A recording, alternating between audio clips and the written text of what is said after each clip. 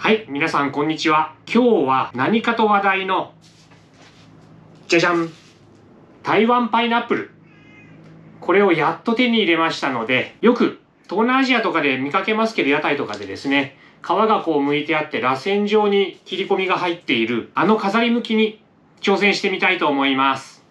僕は、まあ、料理やんないこともなくて結構好きでやるんですが、まあ、とはいうものの、パイナップルを丸ごと剥くというのは初めてですし、まあ、そもそも多分パイナップル丸ごと買ってきたのも初めてだと思います。まあ、ぜひ、あの、綺麗な剥き方に挑戦をして、で、最後は、やっぱり台湾産ですから、芯まで柔らかくて甘いというのが本当なのかどうか、実際食べて試してみたいと思います。では、剥いていきます。はい。では準備ができましたので、剥いていきます。まあ、一般的にはパイナップルの剥き方って、ヘタを落として、お尻を落として、その後、まあ、例えば半分にしたり、四つ切りにしたりしてから剥いていくというのが普通みたいなんですけど、今日はあの、螺旋状に剥くということですので、丸ままいってみます。で、葉っぱも落とさずに、どうやらこの葉っぱをこう持ったまま剥くと剥きやすいということなので、このままいってみます。最初に皮をなるべく薄くそぎむきにしていきますね。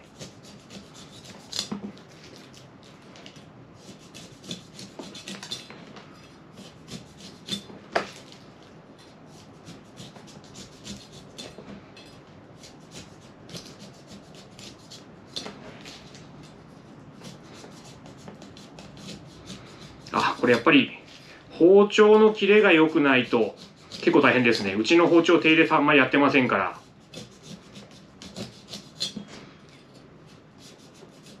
皮を剥くだけでもそこそこ難儀しそうです。よいしょ。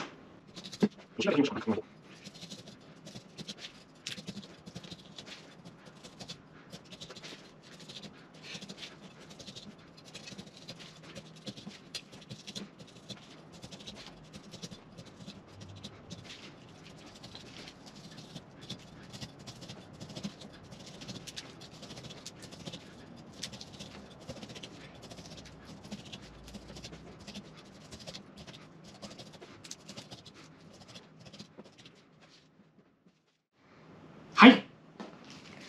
剥けました。まああんまり綺麗じゃないけど、これはまあご愛嬌ということで。で、この後に、この黒いポツポツが、こう、螺旋状に並んでいるので、これに両側から包丁を入れて、この黒い部分だけを取っていくと、あの螺旋状の模様の剥き方になるようですね。ですからあれ、実はあの見た目を重視してやってんのかなと思ったらこの黒い部分だけをちゃんと取ってなるべく身をたくさん取らないと。皮を厚く剥きすぎないということで実は結構合理的な剥き方だということが今回私分かりました。知らなかった。ではやってみようと思います。どの螺旋を行くか。こっちのこのこの螺旋で行ってみましょうか。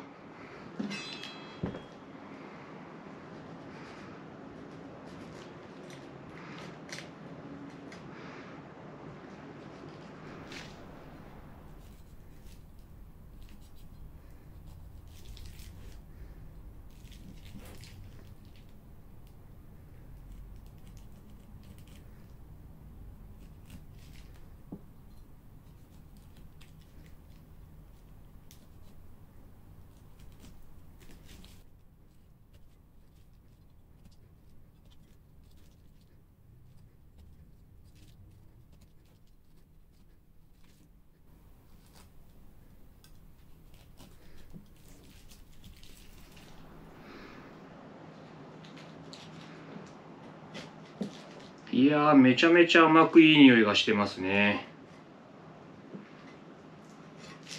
やっと1列。大変ですねこれ。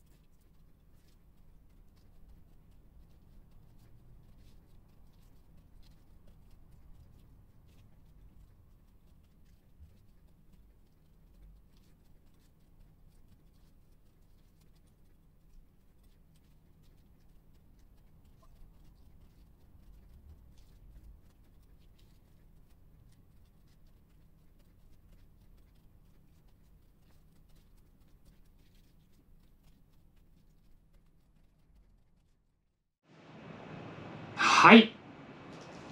剥き終わりました。どうでしょうか。そこそこ綺麗に剥けたかなって自分では思ってるんですけどね。綺麗に螺旋がつきました。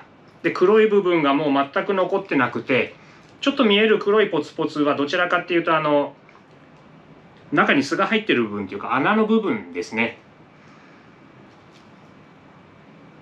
ではお尻を落としてヘタを落として切っていきます。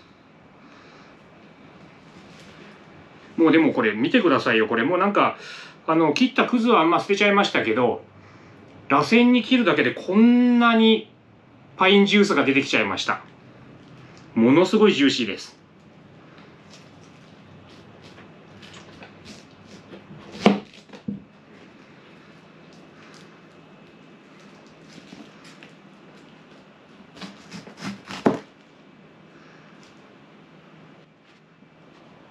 とヘタが残っていた。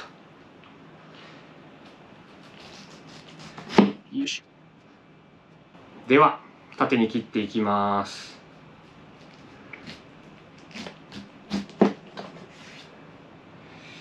6等分ぐらいが良さそうですねこの大きさだと。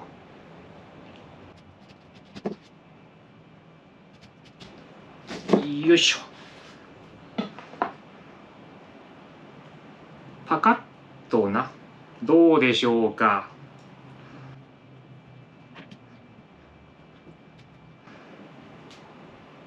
綺麗に切れたと思います。はい。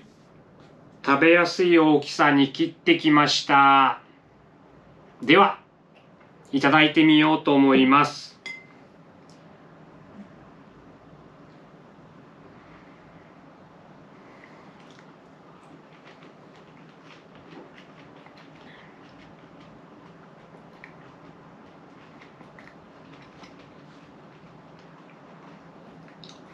ものすごいジューシーです。果汁が本当多い。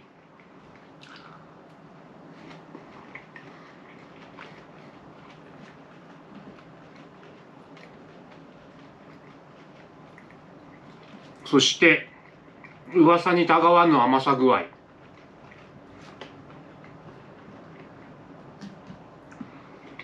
でここですねここ。芯まで柔らかくて食べられるっていうこの部分。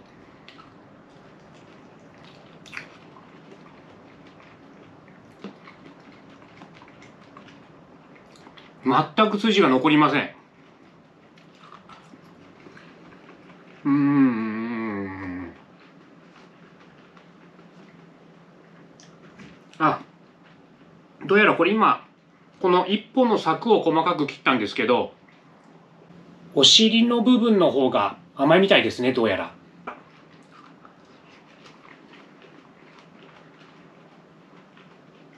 うん。いや本当に美味しくいただきました。僕は他のあの僕の動画をご覧いただいた方はご存知だと思うんですけど、まあ、かなり台湾が好きでこのコロナ騒ぎの前までは大体年に2回ぐらい行ってたんですよね。でそうするとホテルの朝食ビュッフェにも必ずパイン出てきますしあと台南っていうあの南部の町にある青果市場が有名な青果市場があるんですけど果物がたくさん集まってくる。台湾といえばマンゴーとかあとこのパイナップル。それからバナナとか有名ですけどそういうのが集まる大きな青果市場があってそこにももう何回か足運んでるんですよ。でそうするともう必ずパインは一玉買ってきてホテルで剥いてもらって食べたりしてます。本当に美味しい。一回試していただきたいですね。でこの美味しいパインをたくさん食べていただいて台湾を好きになっていただいてぜひ海外旅行できるようになったら台湾に行ってみてください。本場で食べるとまた格別美味しいですから。はい。ということで今回初めてパイナップル剥いてみましたけど、まあ、なかなかうまくできたかなと自画自賛です。では今日も最後までご視聴いただきありがとうございました。